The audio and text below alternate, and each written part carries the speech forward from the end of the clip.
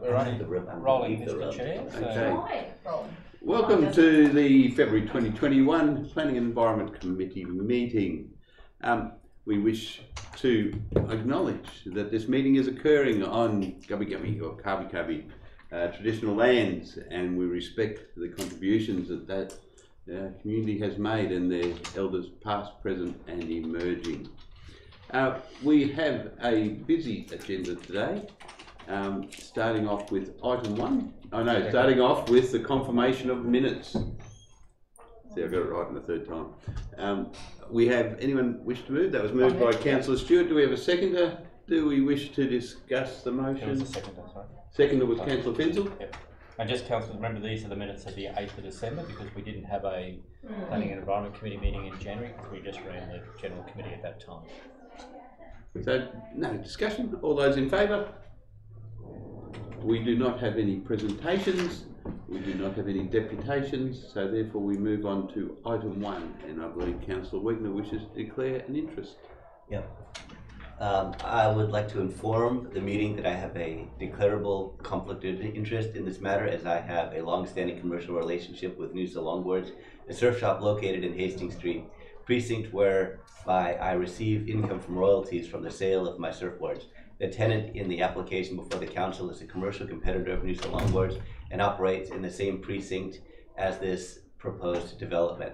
As a result of my conflict of interest, I will now leave the meeting room while the matter is considered and voted on.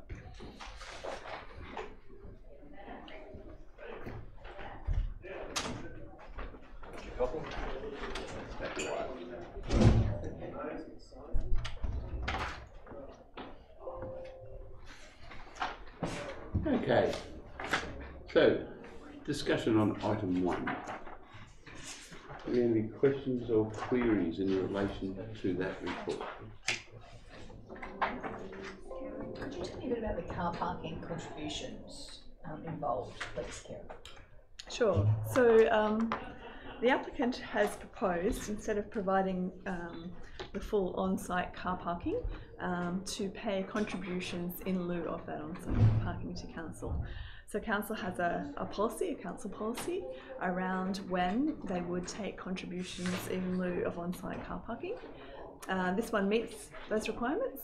Um, so some of the uh, criteria that we look for is whether this site um, is constrained in any way to provide on-site car parking, um, whether there's um, in the community's interest to provide contributions in lieu of on-site parking, which could go to public transport or improving our pathways instead of the on-site car parking.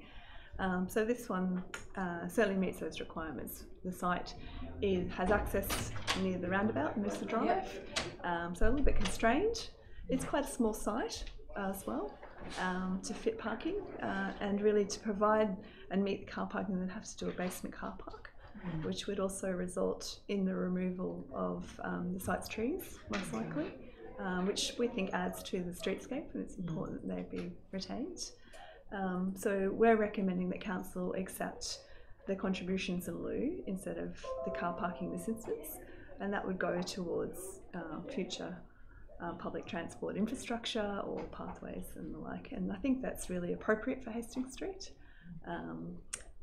because you know um, the the road system at times does get overwhelmed with traffic in our peak holiday seasons. And we're better at looking better off looking at alternative means for people to come to the site.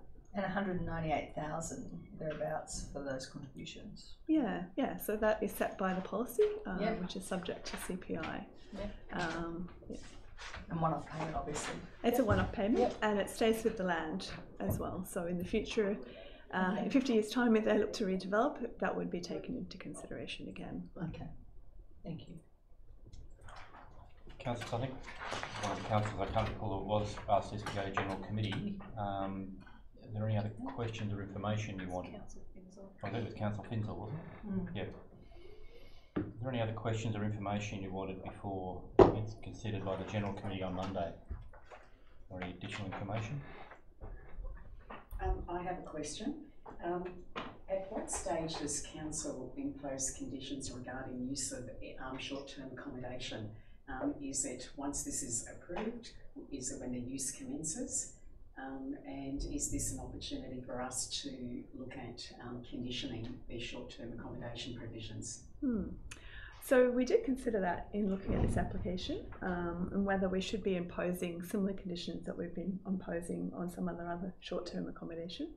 Um, in this instance, we thought it wasn't wasn't relevant or appropriate because this area is really intended for short-term visitor accommodation, and it really doesn't have the permanent residence like we see in some of our other areas where we're getting short-term accommodation applications. So there's not uh, the amenity impacts and the same concerns there. So um, going forward, it, we didn't think it was appropriate to sort of try and control the number of people being accommodated in that unit or use of outdoor areas because and we think it can be managed successfully just through the design as well as the future local law. Um, were you concerned, Kerry?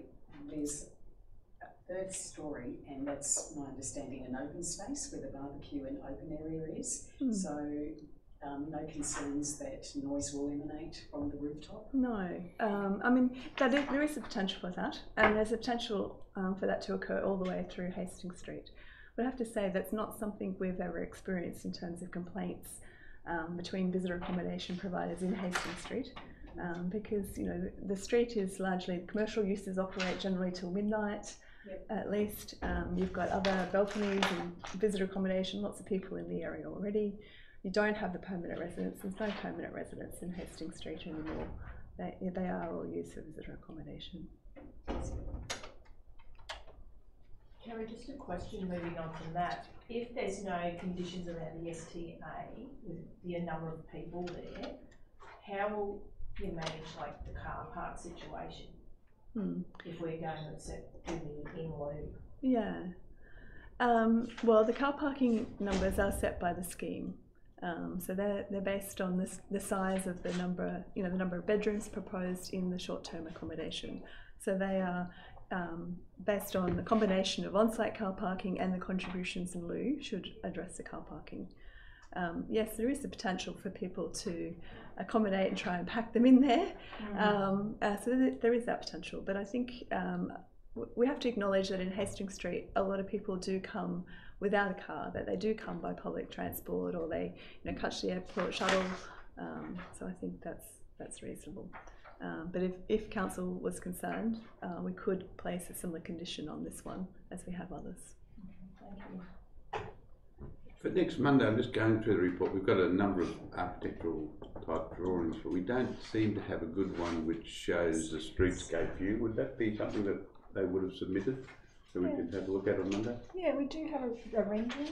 The rendering only shows the lower level, but it does show the street view, given that the top level is significantly set back from Yep. the street frontage. That'd Is be that in good. the report? Okay. Um, there is a yeah a screenshot on there, but I can give you a, a larger photo. Oh, so that, that one which just shows golden That's Yeah, green, that's all you got? Yeah, so the one on page 13 is all we have. Oh, okay. Oh, I don't need it. Very good. Okay, if there's no more questions, uh, can I have a motion to refer this matter to the General Committee. General Committee for the purposes of being significant? Of the significant. I'll second. Second by councillor Stewart. You don't wish to discuss that any No, that's fine. All in favour? That was unanimous. Okay. Councillor Whitman.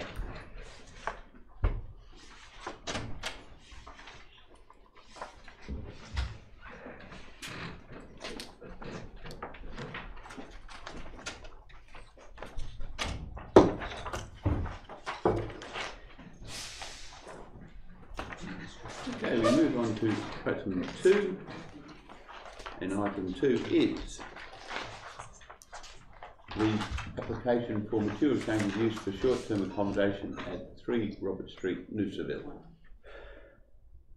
Now, this item's also been requested to be referred, but do we have any questions or uh, requests for further clarification to be brought to Monday's meeting? Good question, Kerry. Just, we, we, obviously, the last time we came to this meeting, we had a very similar application for short-term letting in, in Hill Street. Uh, so just in regard to page thirty-six, is this the, um, number six? All outdoor areas, including balconies, decks, pools and the like, must not be used after nine PM. That was what we had at the last one. Is that, is that just maintaining the status quo, or is that what the, um, the applicants have asked for or agreed to, or? Um, the application material didn't include uh, comments about what time that they would use the outside areas. Um, the condition was put on consistent with the original recommendation from the last meeting we had for the property in Hill Street. I did have conversations with the applicant around that, and they did not object to the 9 pm time frame in this Okay. instance. Yeah. Thanks, Patrick. Um, we've got quite a, quite a few questions. Are you done? Uh, I've got one more. Yeah, yeah. Um, just in regard to the code of conduct, um, it says uh, on page thirty-seven.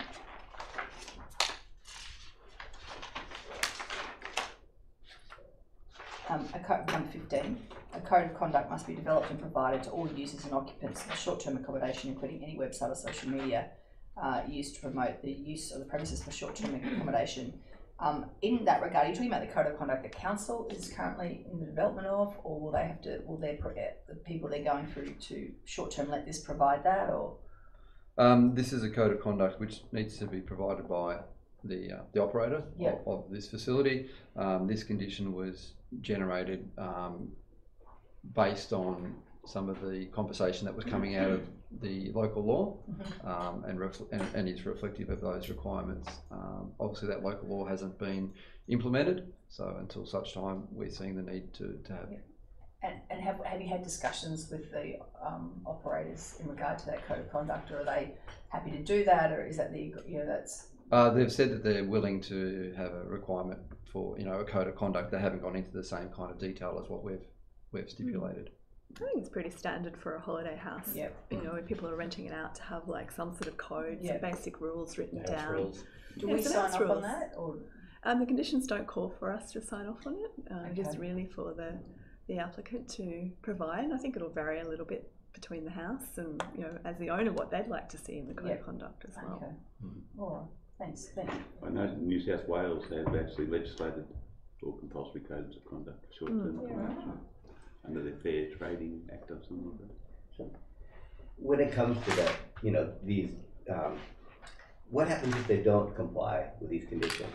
Are, are there penalties? What, what is the penalty structure and schedule? Mm. Yeah, so um, being a planning approval, it's governed by the planning legislation, um, and there's some options for council. Um, uh, our, our approach with planning matters is to give some um, some advice, try an educational in the first instance, um, but then we can move towards uh, fines if we collect sufficient evidence to show that they are in breach of those conditions. Um, and those fines can vary depending if the site's owned by a company or an individual. Um, alternatively, we're able to issue formal notices under the Planning Act, um, asking them and basically demanding that they comply with the approval conditions. And ultimately, if they're still non-compliance, council can make an application to the Planning and Environment Court and seek compliance with those conditions. Is it, is there a way to do, to refuse them and take back their Airbnb or a short-term stay, uh, license? Is it a license that we're giving them or a It's a Okay. development approval. development approval? Uh, no, there's no way to cancel a development approval for non-compliance with a development approval condition. The Planning Act doesn't provide for that. So that's, one of the issues is once you, we'll, we give this, approve this, we can never take it back then. That's It- right. And Through so it's a permanent change. It is a permanent change. Um, so that's something that the, the local law can do with non-compliance with a local law. Um, that can be written into a local law to cancel their approval under the local law, but not a development approval. Have we, um, this is all relatively new, so have, have we gone down this track of, of issuing fines yet and, and compliance, um, orders? Uh, not for short-term accommodation. The first one applications we've had have only been reported to council recently, so it's still a little bit too early there. Um, I I wanna go down, do, do you have anything else to talk, you know, the, the compliance issue? Cause then I wanna talk about, um, the issues that, that we mentioned, which is the clarity of the rules that council is following for the approval process, which is the, um, retention of the primary residential function of the area. And See, I, I went down there yesterday, and when I read what uh, what the 2020 plan says, that for example, a development ensures permanent residents of Noosaville enjoy a high level of residential amenity and accessibility to urban services and so forth. And over here under PO6D, the retention of the primary residential function of the area. So we often talk about it's a it's primarily a residential function. And so that is the overarching policy rule that we're looking at. Hmm. And I walked the streets around there yesterday, and I, in, in my opinion, there's just no way in the world that that the primary residential function of that area is still residential. It's just it's a holiday rental zone, and if you look on the the map on page forty six.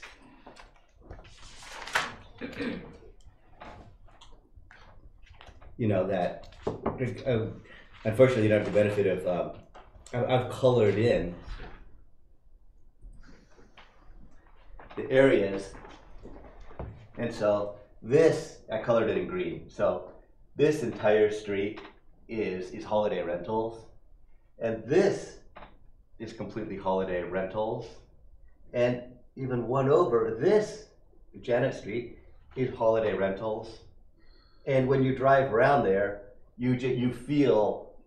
I, I, I debate whether anyone would actually feel as though that this is primarily a residential area. It is. It has morphed into a holiday rental area already. So it, it, it seems to me that there's confusion in the wording of the town plan as to whether this is actually applicable to to um, to allow short-term stays here in this area. Does anybody have any discussion on that or thoughts on that? Well, we are going to debate on Monday. It may be worth asking staff the, the rationale um, behind why those traditional areas like that that had a mix of uh, residential and tourism were retained in medium density residential versus tourist accommodation zone. And there were it was well debated, and Noosaville, Old Noosaville is a key area where that occurs. And you're right. Um, if you remember, the first draft of the of the draft plan plan had that area identified within a, a tourism overlay, uh, short stay overlay. Um, that overlay was retracted, and one of the reasons that was included was to recognise that historically there was this mix in these locations that wasn't favoured by the community, so we pulled away. But it's something we could bring forward on Monday, just a bit of an explanation.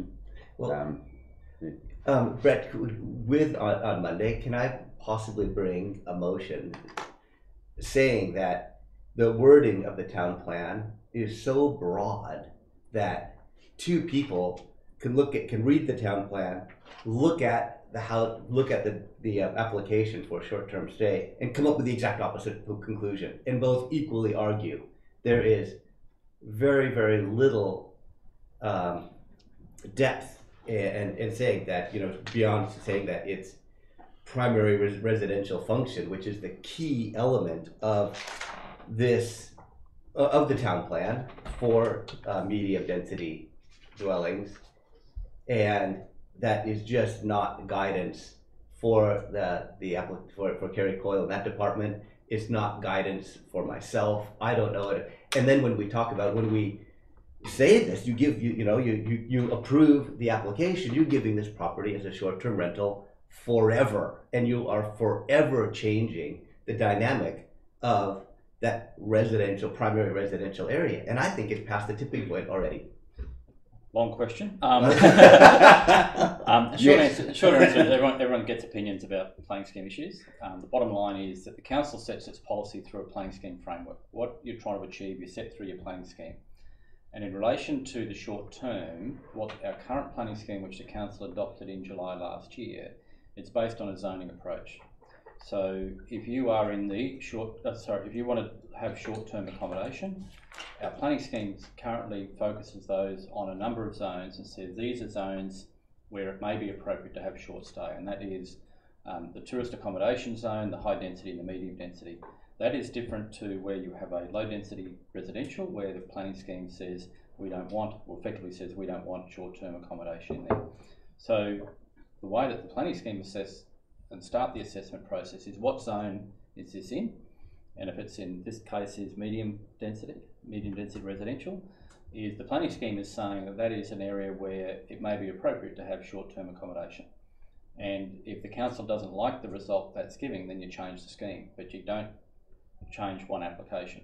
You deal with, the- scheme provides certainty for people about where or where they can't make applications for, um, in this case, short-term accommodation. So that's the purpose of the planning scheme, is to give indications to both staff and to applicants what the council's policy setting in is, and if you're not getting a result that likes, you're getting results that you don't like, then you change the policy setting. It, it, So can I clarify, the question in regard, would it be possible to bring a motion? The motion would not be relevant to this item because the relevant, the motion would be to start a review of the municipal plan. Well, in fact, that, that issue is already there. One of the conditions, there are eight conditions of the minister in terms of our um, planning scheme approval. One of those conditions was that council monitor for two years what's happening with the short-term accommodation to see how that policy is applying.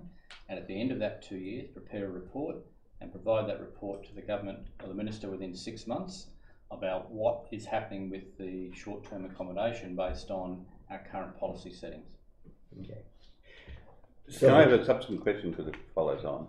To Kerry, is there other, any other guidance rather than, other than the clause that uh, Councillor Wegener referred to? Is there any other guidance within the document that lets your staff and yourself um, have criteria by which you assess when it may or may not be suitable in the medium density residential zone? Hmm. Well, the, the residential medium density zone, the tables of assessment identify that it is a consistent use. So immediately there's, um, you know, that's where we're saying we want to see them.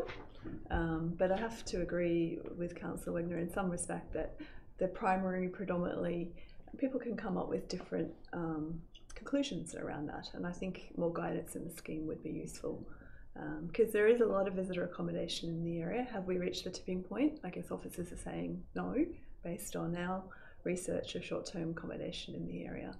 Um, but if the expectation that there's a higher balance of more permanents, which I guess that's what the submitters are suggesting to us, then we should review that element. Did- would, would you recommend a, a sense of caution when giving these, or, uh, um, saying okay to these applications, when it's a permanent thing, and in two years' time, when we review this, we go, oh geez, we mucked that up, well, let's, okay, tur- okay, erase that, let's, uh, go, go back, you can't go back. It, it's, it's a set, it's a done deal, so the review in two years is, um, I know that that's, that's, that's the plan going forward. It seems, is it, is that too far away, do you think? Can, can we pull it forward, Brett? Well, it's up to council, but certainly the ministerial condition says we have to do that assessment during two years, and often you don't see trends in the short term. You'll only see them over, over time. Um, just come back to your point about, you know, an application does give an approval, that approval does attach to the land and is binding on successors in title. That's the same with every approval the council gives, that, that is what we do. Um, it's a land use plan, uh, land use approval. So, um, it, it does create, um, that use right, and that use right does attach to the land, as I said, is binding on future owners as well. It gives those rights and obligations. So is that, just if I can, subsequently on that, so the suggestion in the question regarding holding off until the review, um, from a council perspective, um, what would you say the risk in terms of losing legal appeals if we refuse to consistent use in an area which has already a large number of holiday and short stay accommodation type facilities? I, I don't give legal advice to council other than to say that obviously you're always on the back foot if you're trying to defend a, a, a decision um, where we've made a decision that's inconsistent with our planning scheme. One of the reasons we've always been con- successful in the court, um, and we've won virtually every case for the last number of years, um, is we're consistent with what our planning scheme says, and that's where you, you get success. It's when you go against your own planning scheme, that's when you run into trouble in the courts. Go, go ahead. Yeah, that was my segue into that, and I did have a few questions for staff, but I, I was gonna send them as an email, but quickly in an overview, my concern when reading through these applications, I myself was triggered to ask the question about at what point is that going to reach saturation point, where we lose the amenity of, um, residential and neighbourhood. It appears that if we continue to approve the applications based on the requirements, which to date they have ticked all those boxes. Um, is there a process by which, um, you know, a mechanism is triggered that we've reached saturation point and it will turn into ultimately a precinct that is for short-term accommodation only? And is that what we want? And how is, how can the staff communicate to the councillors making this decision or tracking the number of approvals. So at a point when I've got to make a decision, I can also be aware of the percentage and where we're heading, given that it is a permanent decision to retain as an STA Hmm. when at some point, if the horse is bolted and this becomes a precinct. I wasn't here in the lead up and all the discussions around that. So is the rationale to create a precinct or do we want to maintain a balance of both, both, especially given the um, long-term accommodation for permanent residents, given that there's such a shortage now, do we re- need to rethink that?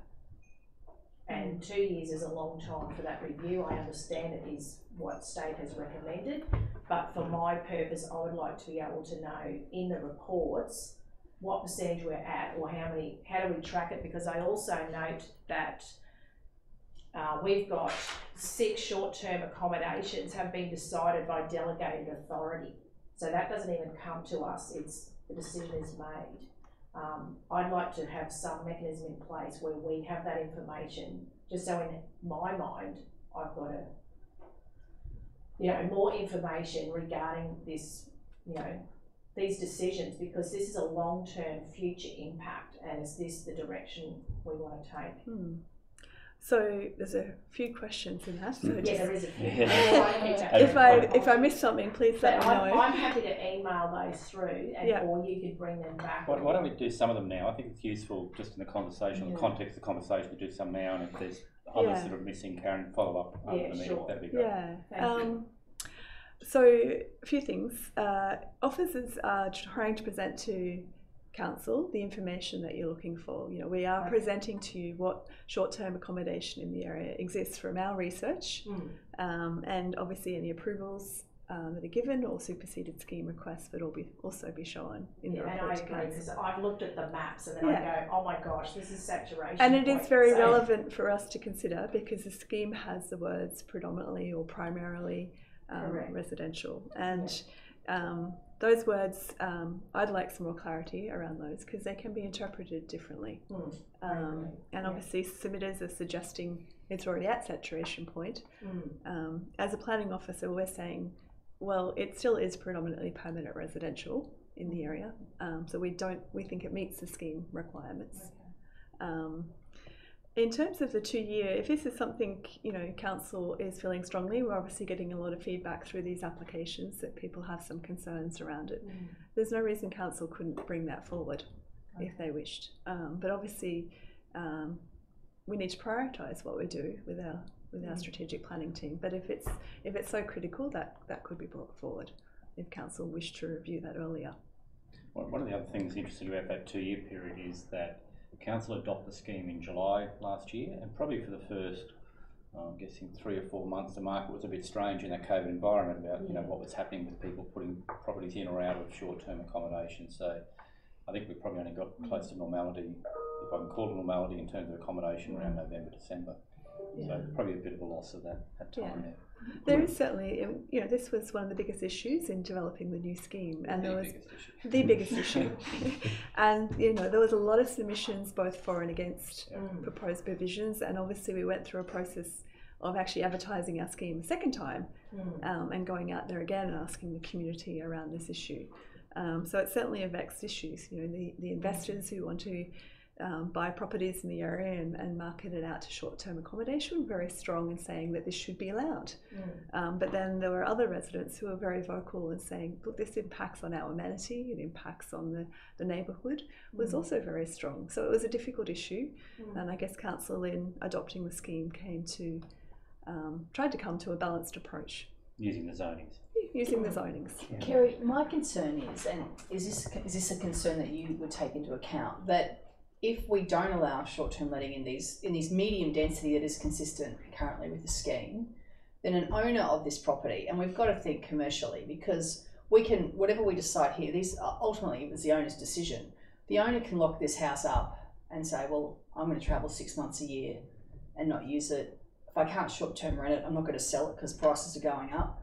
I'm just going to, and then we're going to create a lot of locked up. Then we're, then we're not creating neighbourhoods because we've got a lot of houses that are just closed up and locked up because the people have got a lot of money and if they can't short term let it, they'll just hold on and use it one month a year. Is that a, is that a concern or a consideration in regard to these sort of applications? It was certainly one of the issues that was uh, formed submissions from those people who are very supportive of having short-term accommodation. The fact that that can happen, and, Mm. and you do have owners that might choose to do that. Um, owners still may choose to do that regardless of allowing short-term accommodation. So it's it's not the only issue for us to consider. There's I think there's a broad range of issues in looking at short-term accommodation, from you know the impact on our residential neighbourhoods the impact on our other tourism providers. I don't think we're seeing many resorts necessarily built in, in Noosa because we've got so many short-term accommodation providers. So there's there's multitude of issues in trying to weigh up what the right approach is uh, for council. Do you also want to mention just, I'll call it as of right use for people, if they're living there, they can go away and how many times they can use per year? Which sort of covers some of that. If people do lock up and want to travel, they can still use their place for short term as of right. Yeah, so just just as Brett's one of the, I guess the considerations that um, was uh, in in the current scheme is the allowance for landowners to rent their um, accommodation out without an application to council up to four times a year, sixty nights. So those people who are only live it in part time, there was sort of that provision made for to give them the opportunity that when they went away they could rent it out and it didn't remain locked up. So that uh, I guess that responded to the issue that you, you raised. Brett, would there be legal implications if we, if people bought in this area based on the fact that it's medium density and it's consistent to short-term let under the scheme, under the plan, and they bought on that proviso that they can rent it out? And now if we potentially take that away, is that, is, would there be legal implications in regard to that? No, we- we go through, I guess the question is, you know, what's the implication of changing planning schemes? And there are some um, that use it or lose it, so you've got twelve months to either make an application under the superseded scheme, or you might, you know, if you got knocked back, you might have uh, compensation rights. Um, that risk is always there, um, but that's the same every time we bring in a new town planning scheme. That's Yeah. the case um, when you when you deal with that, uh, and that's why we went through, I think, last year about what are the implications in terms of that um, Yeah. injurious affection, or what's now called compensation claims. But the process you have to go through to be able to get to that point is you've got to be make an application, you've got to decide to use it, you've got to get knocked back, and so on. So um, it's not that common, Yeah, um, okay. but you No, couldn't rule thank it out either. Of course, there's the other side of the coin, is what are there legal ramifications or legal, legal rights for, uh, for those eighteen people that responded saying they do not want this, that, what do you call that, an objection, the eighteen Submit. objectors? I mean, could they be saying, I moved here because this was a residential neighborhood, and now through backdooring the planning scheme, it's no longer a residential neighborhood, I, I want compensation. So they won't be able to get compensation, but a submitter can uh, lodge an appeal against if the council, for example, approved this application. A submitter could go, no, we don't agree with that, and lodge an application to the court to challenge the council's decision.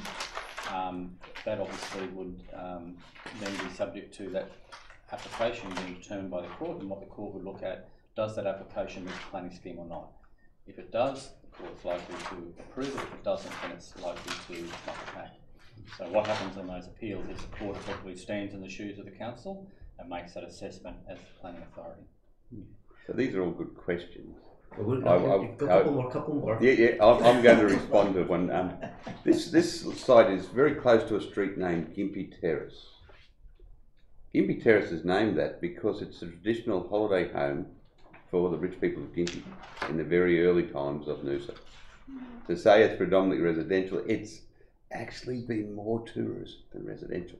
So your original question about whether the zone, ref- the, the intent of the zone within our planning scheme re- reflects the intent of the use is the question to ask, and, and perhaps something um, that staff may want to do on Monday is have a look at maybe bringing some of the the zone maps to clarify where is zone medium density and of the areas zone medium density, which ones have said we don't want short-term accommodation, which is equally as important.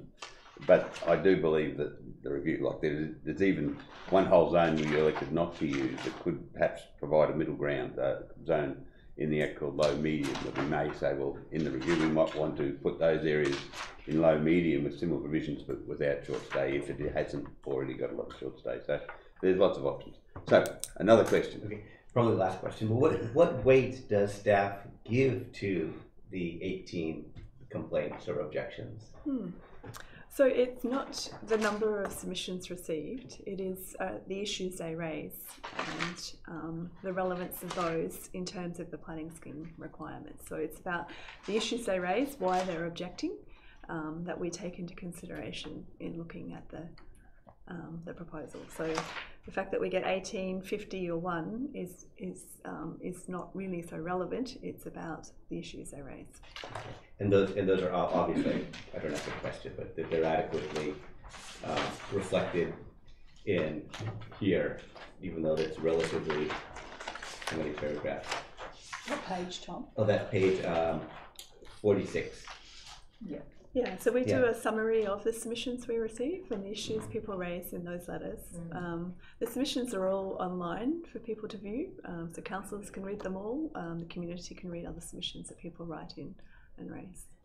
Kerry, are you finished, Tom? Yeah, yeah, thank you. I, cause I'm just following on from the, the question of the people who complained or um, lodged a complaint. Now, they've got in there, I'm just, some of the complaints were that it's per, it's predominantly permanent residential, that's what they, what's, what's, that's what they said in, in their complaint. Um, but there is a number, isn't there, and they're complaining about potentially, you know, increases in car parking, rubbish, loss of community noise.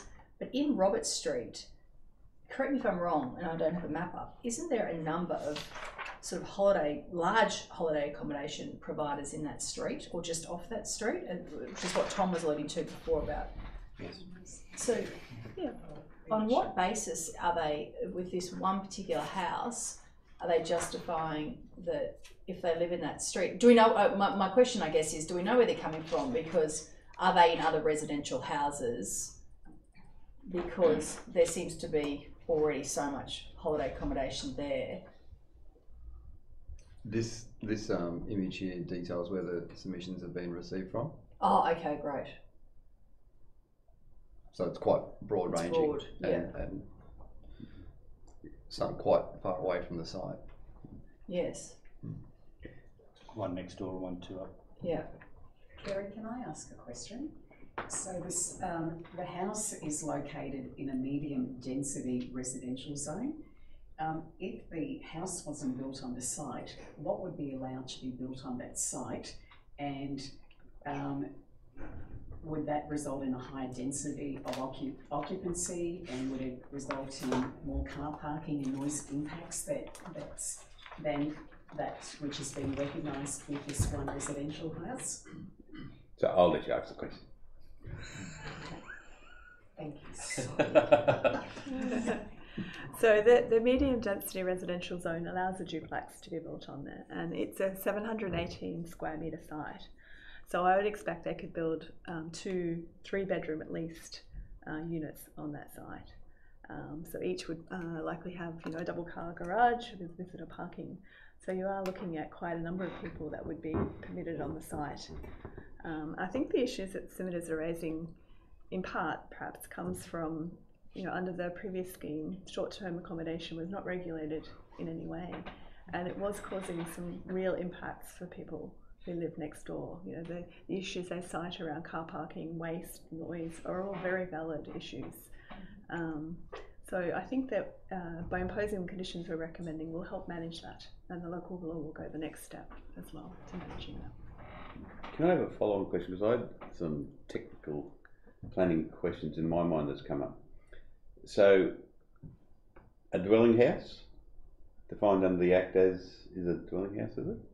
Yeah, detached house, I think. Yeah, Yeah, I don't know. They keep changing the If you have a short-term accommodation over a conventional dwelling house, is that an additional use? And does the, like, where I'm getting to is a dwelling house, you're, re, you're constrained to a single household. Will that constraint on a single household apply if there's a short-term accommodation mm, approval on it? Because the problem we have is that the modern holiday, the, the, the traditional holiday house never had problems. The modern holiday house is seen as where you have three families coming in and have all the problems that the submitters are concerned about. So my question is, how can we technically uh, condition or limit the approval for a holiday house to a holiday house for a single household because it's in a dwelling? Okay, here's a scenario for you. This is a separate use under the planning scheme to a detached house. So potentially, if they operated this short-term accommodation, council approves it, and they operated it for some years, it might be said that they've actually abandoned the original approval or use rights for a house on the site. So they may not be able to revert to that in the future, unless they came back. That's an interesting argument. That's what that's, that's, that's, that's, that's what I was thinking is that we actually now it is defined as a separate use. Yeah, it is defined as a separate use. therefore- it's not just part of a house. Um, Okay. So then for Monday, can you bring back um, some thinking about whether the conditions adequately would control the use of the house and whether it would be um, within the scope of the intent of short-term accommodation to have conditions which require it to be a single household? I'll let you think about it till Monday. Um, okay, I can have a think about it. But my, my thoughts are our planning scheme requirements for short term accommodation um, go, don't go there in terms of household. They only go to the number of bedrooms. And so that's why council um, officers are recommending a maximum number of persons based on the number of bedrooms that are proposed. Mm. So it doesn't talk Oh, about I see. or try and restrict that two families might rent the house. I Um, suppose you've got about- the restraint on the cars as well. Yeah, we've got a restriction on the number of people ultimately. Um, that's what, how we're trying to manage that situation. Um, just following on with Brian's line of thought, Kerry. So if you're saying that if the land use is for short-term accommodation only and they forfeit or waiver their rights to use the house predominantly as their principal place of residence, then is the short-term accommodation land use then a commercial use and therefore outside the scope of a medium density residential zoning? Um, I, I'm just wondering, you know,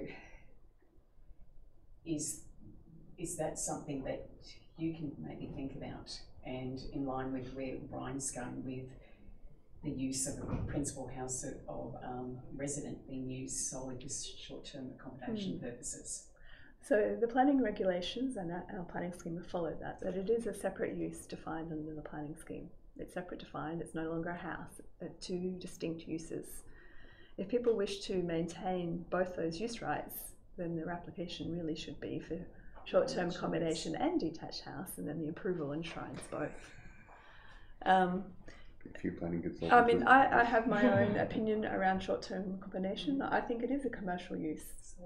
Um, it's not necessarily residential, and I guess that's what we're wrestling with as to whether um, our planning scheme uh, is doing the job it should do in terms of protecting that that residential amenity in the area. So is there an opportunity in an MCU application to condition the application um, that identifies it as being a commercial use and throw some conditions in the application with that, Kerry? Just Well, that, that's what we're doing by the conditions. So I'm not sure what other conditions we would look to include.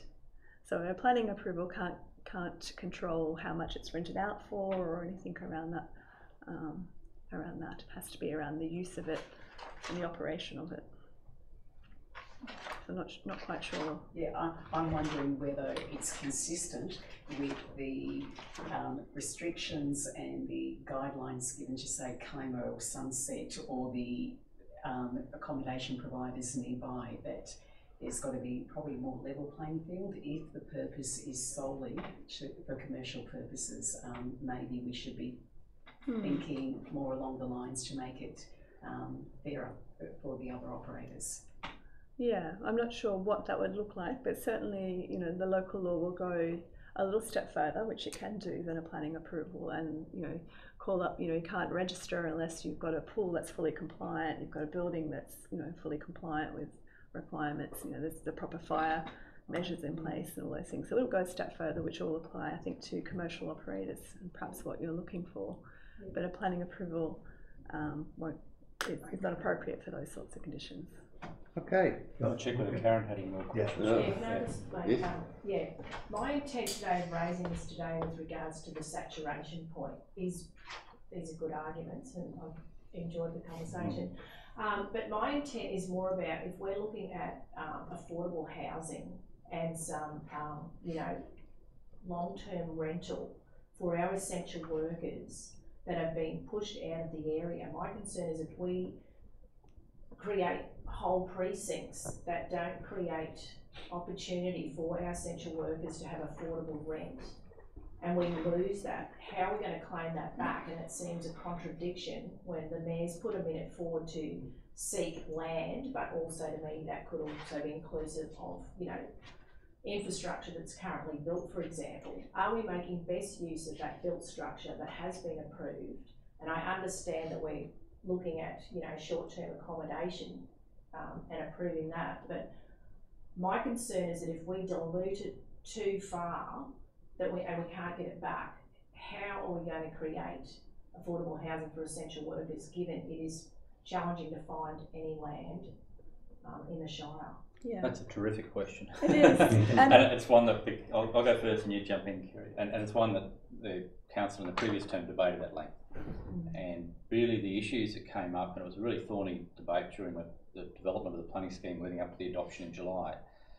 There were two issues that kept coming up in relation to short-term accommodation. One was I call amenity issues, you know, noise and parking, all that sort of stuff. And the second was about the capacity to retain residential suburbs for their Mm. ultimate purpose, which was for people to live in permanently or to rent permanently.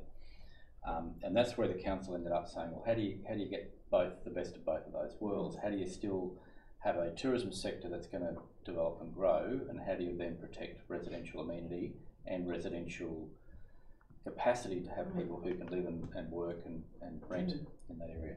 So that's why they end up going down the zoning approach to say that traditional low density residential areas is where people traditionally mums, dads, and the kids live, and um, you know kids playing cricket in the street, all that sort of stuff. So that's where try and protect that as much as we can. We don't want um, short-term accommodation going into those traditional residential areas.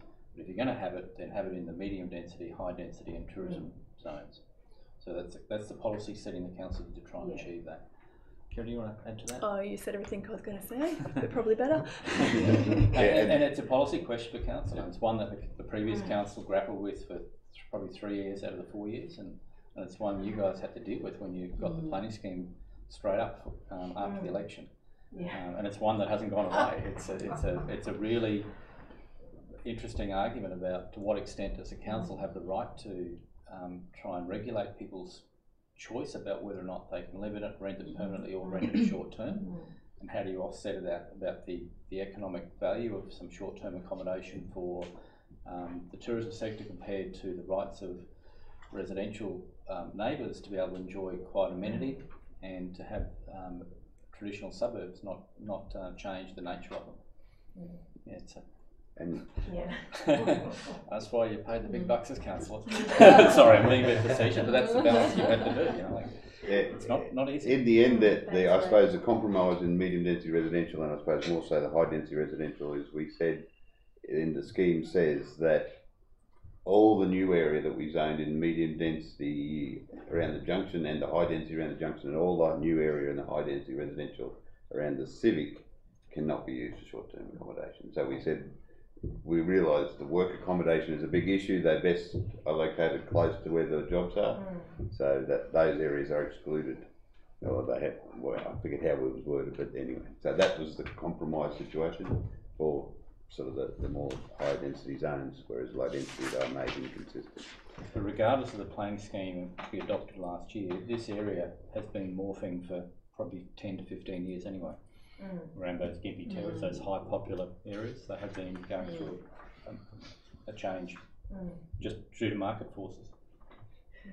Ca- Carrying on from Amelia's question, so with an, in, Airbnb, you build a house that you're gonna normally, you know, a normal house that you would live in, and then it can be changed to a, to a short-term stay. And then across the road, you have a holiday rental, um, uh, precinct or, or building, let's see, well, let's see, what, say Como over there. Um, when they build Como, they, there are certain, um, requirements that they have because this is going to be like the, the fireproof, the walls, the, the, the double glazing windows. There, I, uh, I once had a builder, when we were looking at Beatty Street, the builder says, well, this can't be, you know, a rental because it hasn't complied with all, because he builds, um, rental properties like that. And he said, well, it, it can't be an Airbnb because it doesn't, a rental property because it doesn't qualify with a numerous array of, um, requirements. That, you know, a, a house has one set of requirements, a commercial building has another set of requirements. And it seemed, are we, you're saying it's a commercial premises, a business, without the requirements, is that right? Mm. Um, so we have uh, asked the question of our building certifiers as to whether there would be required to be upgrades of the house uh, where they're used for short-term accommodation, and they're saying that the current requirements of the building code would not generate or um, trigger a requirement for further uh, smoking smoke detectors or the like. There would be no other requirements that they can use the house at the moment. Whether we'll see that change in the future, as you know, because this is growing, it's been a, a, growing thing in recent times. Whether we see that a change in the building code and they'll be required to comply after that, but at the moment there's no requirements. We do though have um, an application now. Is it an application? Yeah. Yes. We do have an application where someone's seeking to convert an existing house into three short-term accommodation units. Um, and whilst we haven't got advice back yet from our building certifier, I suspect that that's where there will be additional firewalls and requirements Mm. that would need to be put in place. And I would suspect that will be one of the reasons that this house may be very difficult to convert um, for that purpose. But that's something we're still getting some advice on. Okay, so just, just the last, one sorry, one last comment. When, for, for the viewers out there, there, there might be a debate and, uh, about whether this, to put this through, or, um, allow this, you know, to vote for it as the staff, as a staff recommendation. But we're both gonna be leaning on the, on the planning scheme. We're both gonna say, the twenty twenty planning scheme says this, and then, the- then the, the, the opposing view will say, the twenty twenty scheme says this. So it's, it's the interpretation of the town plan that is that question, and that, that's why I bring, that, that's, that's the big issue that we're looking at. And you've got professional town planning staff who've given you advice based on their interpretation of the schemes. Mm. Exactly. Which you should take seriously. okay, do we wish to conclude the questions That's in good. preparation for Monday So probably and save time for Monday. refer the matter? Anyone like to? I'll move that motion to be referred to Monday uh, due to the significance of the matter. Yeah, so we've obviously had good discussion. Can I just clarify, was there anything in particular that councillors want us to come back with further information? Because I feel like we have answered questions today, but happy to expand on any particular matters councillors would Um, like. I'm interested in the process around um, capturing the percentage, um, you know, either in numbers or percentage of what's been approved, sort of what's in the pipeline, especially given the, um, you know, the bulk approvals that come through. And it, um, I don't know, that's just in my mind to keep a track of, like if we're saying, saying yes, yes, yes, and it complies, I'm interested in the saturation of the area, um, and how can staff provide that information? I mean, do I just send you an email, for example, when these come up in singly, or is there some way you can mention that in the report? Um, We'll, we'll have a look at that before Monday and be able to give advice about whether or not that's going to be possible of building that sort of analysis into a report. We're not Mm. sure if it is or not, but we'll know that by Monday. Yeah, so we do keep the database. Yep. Yes, we- Yeah. yeah, we have a, a detailed database which is recording um, all, all approvals, uh, including superseded scheme approvals. We have also built a database um, doing research on all the short-term accommodation out there in the Shire, so we have quite a database around that. Yeah, so the map is good, it gives me a visual, but some, you know, some numbers with that would also be helpful. Yeah. That could just be Yeah. lead to do So. I'll just ask sort of clarity, like the map is fairly limited in what we've given Yeah. you. Yeah. Is that the sort of area that you're looking for or a little bit broader than that? Probably a little bit broader. Okay. Will that had the zoning on it of each, each area, is that what you were talking about, or was that what Yeah, we councillor will Stockwell do the was? zoning Zoning maps one. too. Yeah, Yeah. I had an initial one. I said maybe come back, but I can't remember what it is now. I think it was the zoning maps. Mm. yeah, Is that the the first zoning one? maps. Yeah. Yeah. Yeah, because every time one of these comes up, we're gonna be, be drilling down on exactly the same issue, so. Yeah. I think what, uh, Mm. what, uh, Karen. Karen, I was gonna I was gonna say Councillor Finzel, has, has- is requesting is, is gonna be, is, we're gonna see this over and over again. Mm. And given we're, you know, collecting data and making decisions that will go back to state for that review, whether that's two years or shorter, depending on outcomes, I think it's just good practice. Yeah, we're certainly collecting all the data, we have all that. And can I ask Kerry to include in that data, just so that we are, you know, we're collectively talking about data-driven decisions, can we also have, um, number of complaints? I think that's quite relevant too. Um, I know that a lot of people are formalising their, their objections and complaints, and I just think that, um, we need, again, to collate that information and need some hard evidence as to numbers. Yeah, yeah, we're definitely um, recording those complaints. Previously, we we didn't so much because we couldn't do anything about it. But since the commencement of the new planning scheme, we've been recording it. And I know know the data. I'm happy to send this out. But we've had 49 complaints about short-term accommodation since the planning scheme commenced. Um, and I think people are complaining, making more complaints now because council has obviously advertised that we're trying to address the issue. Um, so we're seeing a lot more people to formalise their complaints complaints in about it. Yeah. Um, can I also ask one more question? So we're talking medium density zoning. Some of these precincts um, are changing, as mentioned in conversation, quite rapidly. So um, Robert Street, there, you know, I've been in town over twenty years. It's yet high density. There's a lot of short-term accommodation, but the precinct has changed quite um, significantly, and people are knocking down duplexes and building homes. Um, has any consideration been made um, in that regard when precincts are changing um, the fabric, uh, that, that people aren't using the land use for, for the designated use, they're using it to build these McMansions? Yeah, certainly as part of um, scheme process processes that's uh, looked at Yeah. in terms of you know what's what's happening out there in in the landscape in terms of what's changing, what's the trends, what does our scheme need to address. Um, but that, that's a process that can continue. It's quite typical for planning schemes to go through a series of amendments in its life. Uh, so that will continue. Thank you. Okay, Thanks, Karen. Thank so I'll, I think I moved it. I don't think I've got a seconder. Seconded by Councillor Finzel. Do we need any more discussion? No? No. All those in favour? Carried unanimously. We'll order, order in dinner for Monday. Okay, so move on to item three, which is a material change of use for other change development approval for material, uh, yeah, for multiple housing, type three retirement and special needs at one eighty-six Cooroy Road and four Carramar Street, Tewantin. I'll move the staff recommendation. I think, I think Councillor Finzel Yeah. had asked it to go to general committee as well. Okay. Yeah, due to the significance of that matter, um, yes, please. Were there any questions or further information required from council? Well, it, it- it just seems, reading through it, that this is an evolution that, that's happened, that it's, you know, they're, they're working on the car parks, they said, oh geez, well, hey, you know, that's a good idea, let's, let's, let's run that. Is that an accurate description of what's happened here? Uh, there is a car parking um, rate which they need to provide across the site, and that was born out of the uh, original approval for an additional 32 beds on the site. And as part of their, their works to achieve the required amount of car parking, they've identified that they would like to move 15 spaces to the adjoining what was previously residential zone land, which is now its own community.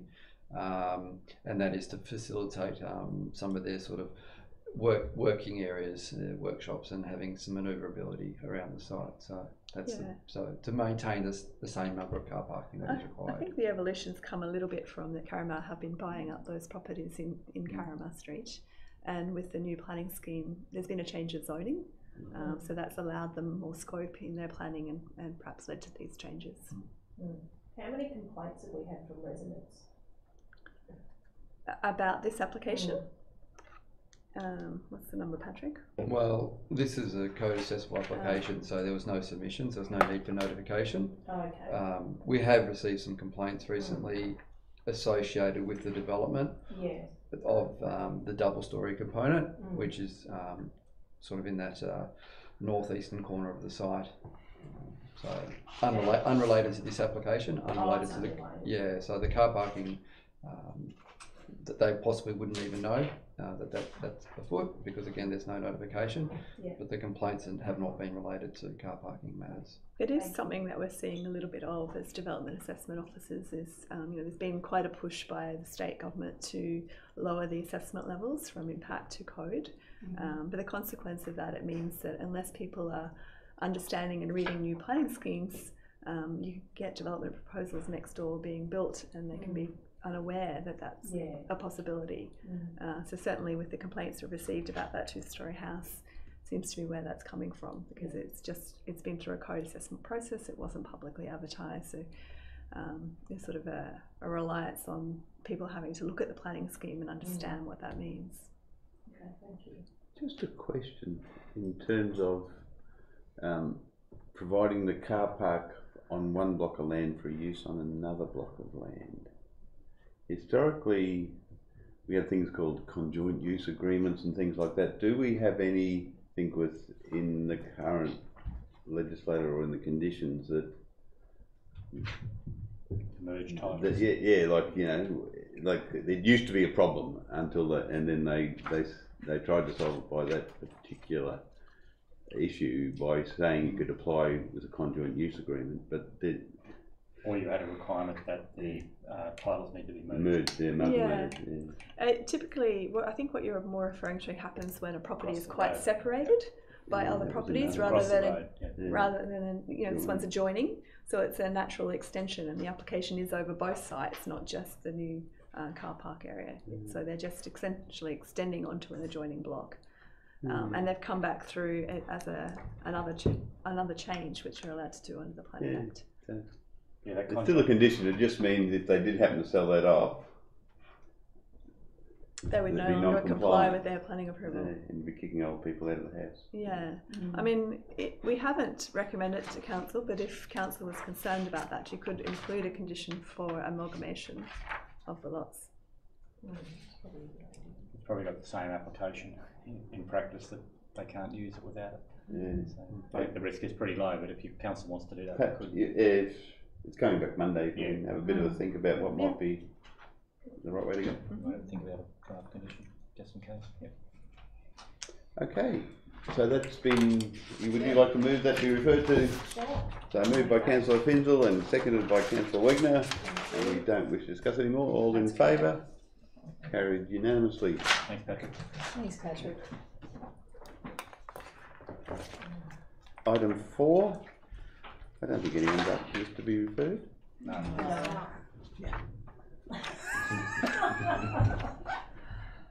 So it's a, uh straightforward matter of defending an appeal. Do we have any questions or comments? No, would anyone like to move the recommendation? Move councillor Wegener, I'll second it. Uh, Any discussion? No?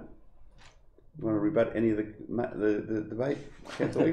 No? There wasn't any. I'll, I'll move the motion. All in favour? Carried unanimously. Um, number five is Planning Environment Court Appeal B eighty nine seven. Now, we do have a range of um, conflicts to declare, but if we declare the interest first without uh, leaving the room because there may be a procedural matter that we can do. Um, Yeah, maybe I'll just explain that. One, one of the, the, the good things out of the October um, amendments to the Local Government Act last year is if there's a majority of councillors who have a conflict of interest, you can still deal with the matter, what I call from a procedural perspective. In other words, you can actually collectively pass a resolution to refer the matter to the General Committee if you wish to, uh, which would be the appropriate thing to do. So my advice would be just to go through and make your declarations. You still need to do that. We'll do those in order. and then we make that procedural resolution from there. And then there was one.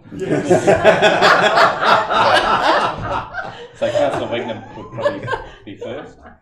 Uh, I, Councillor Wegener, inform the meeting that I have a prescribed conflict of interest in this matter as I have an NBN tower located on my property and receive income from NBN via a lease arrangement. As a result of my conflict of interest, I will now leave the meeting room while the matter is considered and voted on. I think we could probably change that to, as I propose to leave the meeting room. Um, If that matter, it's a standard matter was being voted. on. Yep. Are you happy to change Uh, that? Yeah, I propose to leave the room. Councillor Finzel? I, councillor Finzel, inform the meeting that I have a declarable conflict of interest in this matter. As prior to my election to council, I signed a petition relating to this application. As a result of my conflict of interest, I propose to leave the meeting room while the matter is considered and voted on.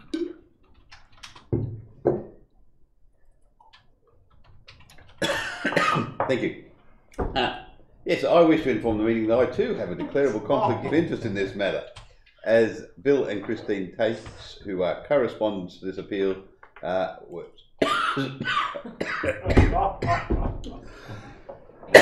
so, Take your time. Take your time. Ah, dear. Tickle in the throat. Supported my 2020 election campaign by undertaking letterbox drops. Um, as a result of this conflict of interest, I propose to leave the meeting room while the application is considered and voted on.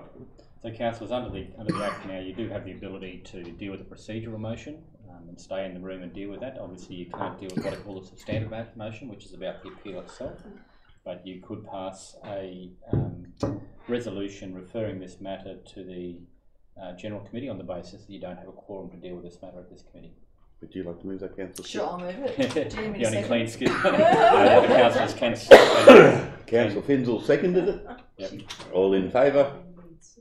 I'll just um, update councillors. Uh, all co-respondents have now either withdrawn from the appeal Yeah. or have indicated they will withdraw if council agrees uh, with the recommendation.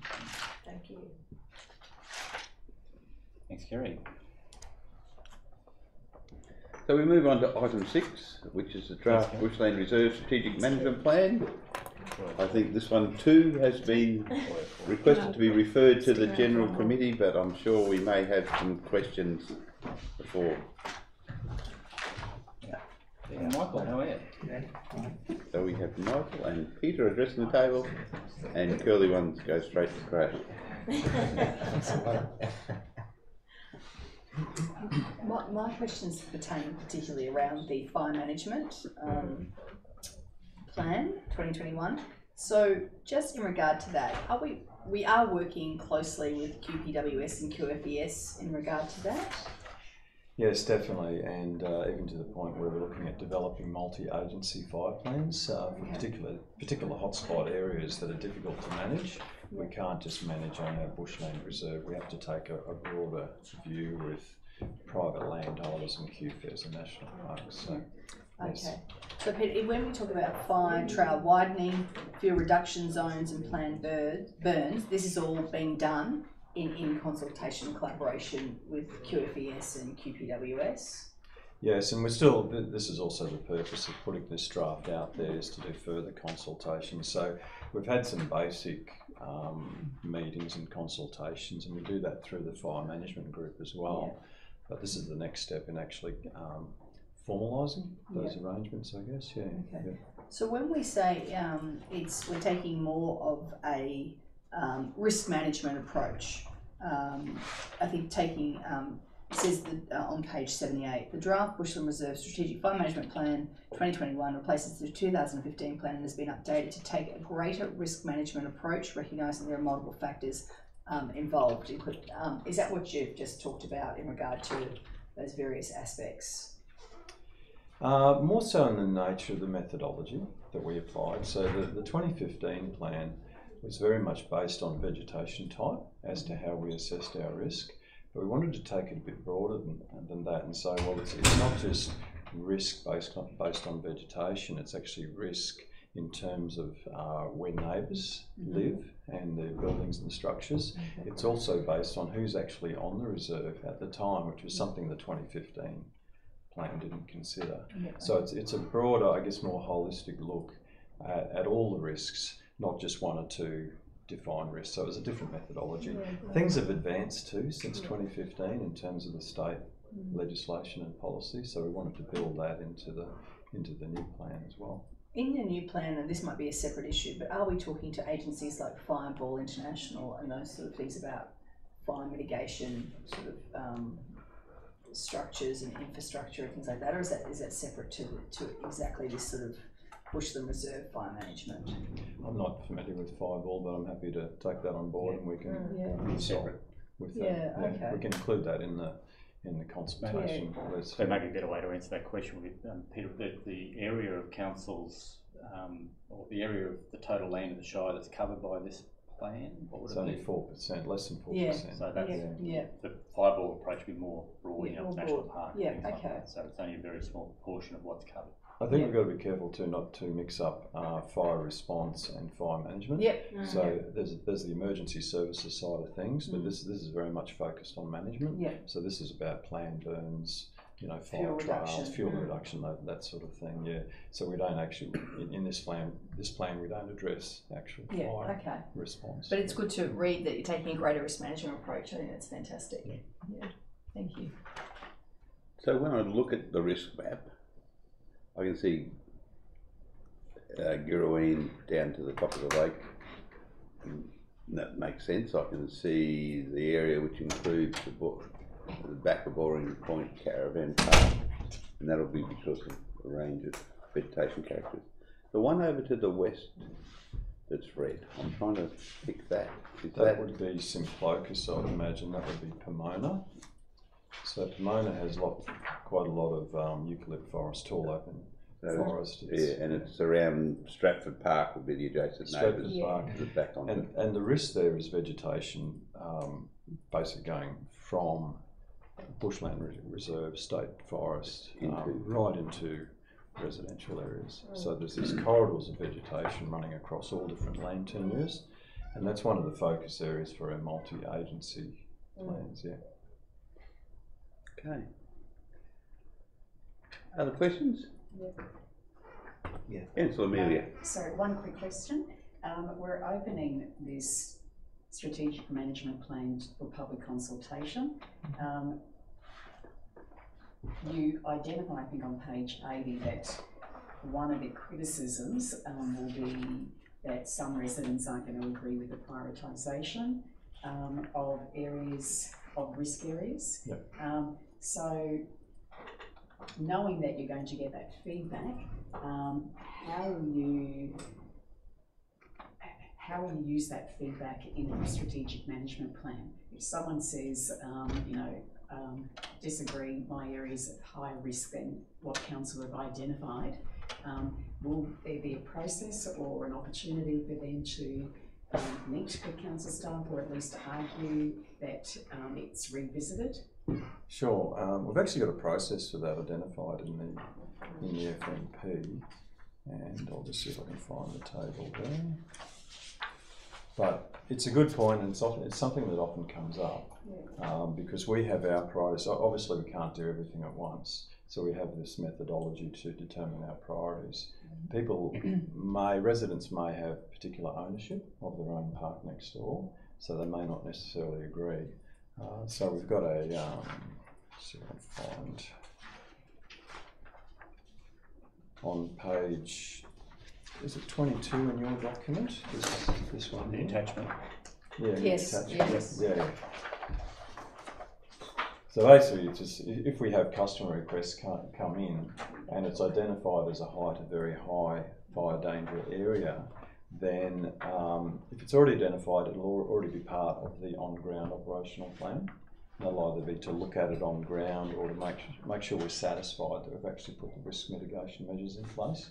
If it's not part of that, there's a process of review. So we can, as you say, meet, meet with the resident, go out on site, review the situation, we see how it fits with the other reserves, and it might be, you know, a valid um, request, Or it might be, well, you know, some people have got different interpretations of what, what actually fire risk is. Yeah. Thank you. Oh, no, you go ahead. Well, maybe on, on from that last question, you have the expert panel, um, which is mentioned on fifty. Who, who is on the expert panel? On, on Are you page talking about 50 the of the draft. strategic plan or? Of, of Strategic the plan. Bushland Reserve strat, strategic plan. This one, yes. Um, essentially, it was um, internal staff um, um, across multiple departments and or teams and or units. So, um, unfortunately, there was no, there was essentially no one external for that panel. That's just kind of coming on from Amelia's question, we- she, maybe their mm, community might be, then maybe, maybe that's another avenue for a community to be involved. Yes. If we've got expertise If, in the yeah. community, and I I happen to know we do have expertise in, in boring ponds, I'll tell you that. Ex-head of fire. Just on that same document that Tom's talking about, um, on page twenty, it talks about the, um, fire at five point two, and it says the state planning policy, bushfire prone mapping identifies priority areas at a statewide level. And the CSIRO have developed methodology based on vegetation type, fuel load, all that kind of thing. Are we following these guidelines, and are they driving our strategic plan? Yes, Yeah, okay, correct. terrific, okay, thank you. Um, thank you. Um, Michael and Peter, thank you. Uh, there's a good body of work here and it's been, um, from what I can see, very thorough. So thank you for the report. Um, under risks and opportunities on page eighty, um, one of the risks you've mentioned is that resources such as qualified contractors and or internal staff are not available for delivery. Are you exploring the options of, especially looking at, you know, COVID and training and employment opportunities? Um, are you looking at that to counteract the risk you mentioned? Is there any, how are we heading along around that? Why is everyone looking at Brett? Is that, is Come on, Craig. Come, come join the table. That's a really good question. One I've asked. That's Yeah, good. we need enough meat on the ground to actually then fulfil the requirements. Uh, look, uh, uh, we do. Um, I, I think we've developed a really strong strategic plan here with a really clear guideline on where we need to do with our fire management. Um, we've had certainly over the last 12 months some logistical challenges on being able to deliver on our strategic intent, particularly around prescribed burning. Uh, one of those challenges are is there's simply not a lot of available contractors and consultants out there to undertake that work. And where there is, they're not necessarily local or they're located, they're also being contracted by other councils. So there's very difficult to get them on the ground when we need to. Um, we are absolutely looking for solutions. We've had a meeting with the executive just before Christmas. We've got another one due quite soon. And we're also doing it as part of this budget process to look at what options are available to us that enable us to deliver those controlled burns. Uh, but there's a range of elements that go into that around uh, the corporate risk um, to council of any actions we take and also not undertaking actions. Um, so while this strategic plan says what we need to do, we've been somewhat less clear on exactly how we're going to do it as we as we work through a way uh, to have better success than we did in the last 12 months. Because certainly what we found last year is there was no shortage of resources. We were well well resourced to undertake the control burns we wanted to undertake, but for uh, reasons of availability of contractors, we simply weren't able to get all the ones done. So in those circumstances, we had to try and use other methods which can result, result in vegetation loss and damage by building wider fire, wider fire breaks, which is not what the community wants to see and not what we want to see. Craig answered that very well. Yeah. Um, I guess just adding Thanks, to it, Craig. you know, just adding to it is, is essentially with the fires last year, every council across Queensland looking at what they can do with more controlled burns and what they need to do. So that the number of contractors available to do that, it's a very specialised field and, and they're getting stretched. So we just can't get people when we want to because you have the windows are narrowing when we can do it and it's narrowing for everyone and everyone's after the same group of contractors to do that work. So we know that our current model can't be sustainable for everyone. So now we're in debate, okay, if that's not working, what's the alternative? Mm. You know, one of the alternatives is council do those burns itself, and that keeps me awake at night thinking about a, a, a council burn getting out of control. what's, you know, what's happening now is not working and it's not going to be suitable for the future. So we're going to look at alternatives. That's what we're looking at, what that might, what that might be. It might be a combination. It might be a combination. Just with regard to the external consultation, Noosa and District Landcare, Safe Assure and QFES, have we talked to the Kabi Kabi people at all, or will they have an input in regard to this? We've, yes, we've, we've made contact with the Kabi Kabi and um, they're, they're keen to um, be involved um, further down the track when Yeah. things are a bit more formalised and uh, rather than just meeting over one particular issue, as in Mm. fire, they want to meet regarding a range range of issues and it's I guess it's it's a better you know economy of time for the Kabi Kabi. is the Okay. answer, Yeah. Perfect. Okay, so it has been re- requested to be referred. Would someone like to move that motion? Oh, you got more questions? Um, I'll boil it down to one basic philosophical question.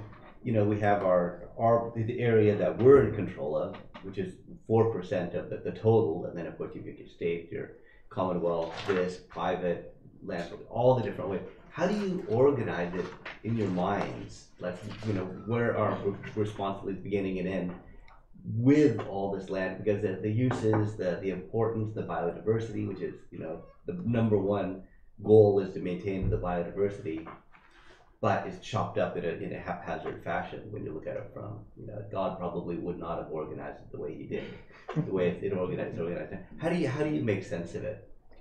We, we use uh, that that's through our methodology that we use. So we, we use the CSIRO methodology, but also um, I, I guess you call it a multi-criteria analysis. So you look at the biodiversity values, you look at the risk to people on park or reserve, you look at the risk to people off park. So it's a range of, of values that you look at, and then we just weighted those values. The spreadsheet, which isn't included to this report, is way big and has lots of different criteria and then we apply weightings to what we think is the most you know important area, particularly the neighbour, the neighbour, that interface between with the neighbours and, and the bushland reserve, and you come up with weightings at the end, and then it's just a juggling thing on your on your spreadsheet to bring up what the priorities are. So that's how that's how we do it. Because maintaining biodiversity is just so important. It, uh, in here, it's what, no, forty percent, percent of the weight is on maintaining biodiversity, but then in order to maintain that biodiversity, some places need to be burnt every so often. Mhm. So you actually have to go in and burn an area where the exact opposite might be a couple of blocks over where there's a rainforest, and you don't want to burn that.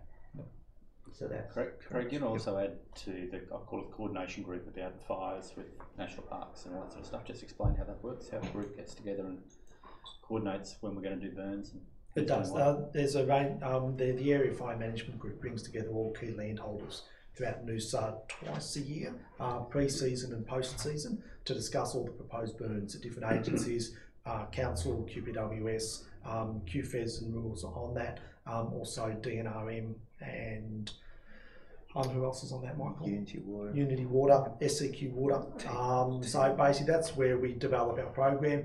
Um, we also meet separately with um, Queensland Parks and Wildlife Service in more detail, um, where we go through all our proposed burns and how we can work together uh, on burns we're undertaking during that year. Because the area fire management group is quite broad, they focus on the four or five key areas for the season. Whereas when we meet with Q- Queensland Parks and Wildlife Service, we focus on every burn uh, and every action. And in an area like Girraween is a really good example, um, where we've actually both agencies have got control burns planned over the next couple of years. We've got other fire mitigation activities going on there. Um, so we basically talk through exactly what we're doing, what can work together, and what can't work together. Can I ask a question, Brian? You may. Um, has La Nina and um, the forecast of frequent rain events, has that influenced or informed this fire management plan? Or do you guys just go down your own path um, and don't take too much notice of um, forecasted rain events? And I- in, in all sincerity, um, you know, I'm not, not being funny. well, in terms of climate change, a lot of that's factored into the state mapping products anyway. So we, we, we use those products um, to plan out our long-term strategic plan for at a local level. Um, but in terms, so the, the mapping that was provided in here is a strategic map. It's not necessarily influenced by, by daily conditions or even you know seasonal conditions. And that's the same as the state mapping. It's based on vegetation type. So that vegetation, you know, could be a high potential um, intensity fire, um, regardless of the conditions on the day. Okay, but then we take it to the next step when it when it gets to an operational level, is actually from local knowledge and also by looking at, at the site, um, we then determine the actual risk. So it's a two-step pro- process. So it's a strategic overview for the strategic plan, and then there's there's an operational assessment. And to give an example, if you were to go up to say Cooroibah Nature Re- Refuge today, you would not get a fire in there at all. But it is actually mapped as as very high fire risk. That's because it burnt back in 2019. It burnt, and we've had lots of rain recently, so it's not going to be a high risk. But strategically, it's still flagged as an important um, high high rated park as a priority. Um, and so the, the conditions can change. We could get a bushfire, you know, somewhere on a, on a park. Immediately, you've got no uh, hazard after the bushfire, so it's, it's not rated as a high risk locally. Yeah. So, just one question. I noted in your, you've got a list of proposed target consultations. Um, do we have any bush care groups that are active in the management of any of our bushland reserves, and would they would be appropriate to add them to the list We have consulted them. Um, already? yes, or, um, in the first draft of this of the Bushland Re- Reserve Strategic Plan. Um, it was presented to them about um, about uh, towards the end towards the end of last year. Um, yes, Oh, good. Yep. Just one on the list. yes. Okay. Cheers. Councillor Jurisevic was, councillor was keen for this to go to general committee, it's an area of. Oh, I only councillor Jurisevic. Let's vote it now. okay, but I'll move that the matter be referred to the general committee meeting. I'll second it, councillor Stockwell. Moving to the issue, all in favour? Done. Thanks, guys. So Thank move on to you. item seven, Thank which you. is the variations uh, to the development assessment fees and charges for July to December of last year.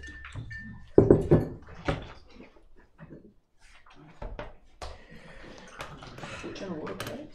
No, it's all right, thank you. Brett, would you like a word? Thanks, thank you. So do we have any questions? Um, I'd, I'd like to make a comment concerning the No Worries RV Holiday Park up in Cooroy. Yep. And um, just, I- I, I follow that because I was, as a newly elected council, I went up there and um, the, a quick overview of, of the property. The guy is, is an immigrant, maybe has a, a bit of trouble with the English, but he is a great gardener and my gosh, is it an incredible holiday park. It is absolutely beautiful. Um, and I'm very happy that, that you reduced the rates uh, of charging him. Um, I know that, that the, the background story that staff may have not had is he's has kids during the fires, and the kids, um, the, the husband is a firefighter, so he's off, and they had a house down there that was, you know, in line, so they immediately dropped everything, drove down, um, helped out the, the kids with the fire, came back and found that their their um, license had lapsed, and they were being they had to reapply again at an enormous expense and a seven thousand dollar application fee for, and they, they were of the opinion, or told me that they only, there was just one letter sent to them. And then when they didn't reapply, they, they they had to, when they didn't pay the fee, they were stuck with this enormous task of reapplying for what they'd already doing. Is, is that accurate, Kerry? Um, I understand there was a conversation with the owner at the counter before it lapsed, and so he was certainly aware of it. Um, I, I don't understand why he missed the time frame. So, yeah, I'd have to. That's that's all I know about that one. Okay. Well, anyway, I'm just so happy that, that you gave them, you know, that, that we. Yeah. Yeah. No further questions? I'm Um, sure hold on. councillor Wigney would like to move it, or One more question. one more question, or statement from the floor? Steve. no, I, I'm sorry. Right, that's your job. I, I- now that I've, I've learned that um, we're, that that staff is much more accessible, that I actually should be going through all these concerns and meeting with staff um, rather than dragging us. But I thought that this this meeting was for us to, to meet with staff and, and, and ask these, you know, very long questions and take a lot of everybody's time. Um, Staff would welcome, staff would welcome you, and the councils would also welcome you to come see some of the staff. I always enjoy your questions. See me and your anytime. long-winded entrance. Yeah. so well, hopefully this will be one of the last times. But could you e- e- explain what again on page um, eighty-five? The resort complex. Why why we reduced? Why we knocked a hundred thousand dollars Yeah. off of this? Because this, you know, the, it seems to be the exact opposite of the No Worries Caravan Park, where this person probably isn't such a sympathetic customer. Okay, Okay. so I can't base application fees on the person or their their responsibilities or to the community. It has to be based on what we consider the likely assessment costs only. So our fees are meant to be basically equivalent to what it costs council in assessing the application. So as, as the report presents, components of this proposal, the resort are compliant with the planning scheme, but there are some elements that are non-compliant. Um, uh, so that that's that's what really why the fees were varied. Um, so currently there's a multiplier that applies to our fees and charges of three, where the use is identified as inconsistent in the planning scheme, and because this proposal goes partly outside the visitor accommodation zone, it is inconsistent. Um, but a portion of it is well within that zone as well. Um, so yeah, it, it's really based on, I guess, um, my experience The level of assessment. the level of assessment and the extent of work likely to be required in assessing the application. And the level of inconsistency, as I read it, related to the odour buffer It rates to be buffer. that, that may impact on the pool or recreation area. Yeah, and I think it has to be recognised there wasn't necessarily the detailed odour report in drawing that line on the new scheme in terms of where that odour line should be. So that will come as part of the application. So it's potential that it will vary. Okay. All good? Mm-hmm. I'll move it. Moved councillor Stewart, seconded councillor Finzel. Any discussion? All in favour? That was carried unanimously. We move on to item eight. And this is planning applications decided by delegated authority. Uh, to be noted that councillor Lawrence has exited the building. So do we have any questions?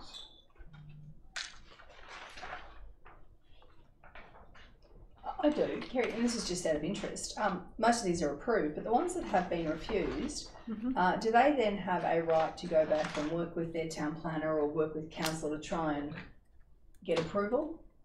I mean, it's not like a complete refusal if, if, I mean, are they given reasons why they have a refusal and they can come back and work to? Yeah, yeah, certainly. And, and officers in assessing an application will raise issues in the information request formally of what they need to address. We'll try and discuss those concerns with the, the applicant and their consultant. We'll again then raise it in the decision timeframe um, before we actually make a decision for refusal. So there's always the opportunity to come back and relodge an application if they do get a refusal and review that. Um, there are two applications there that that have been refused by delegation that were superseded planning scheme requests. Um, so there is no real opportunity to relodge those. The process would be, um, you know, if they're seeking compensation, if they think that that's relevant, they would have to launch an application under the new planning scheme and have that refused or conditioned, and then, then need to apply to the court for a claim of compensation. Okay, thank you.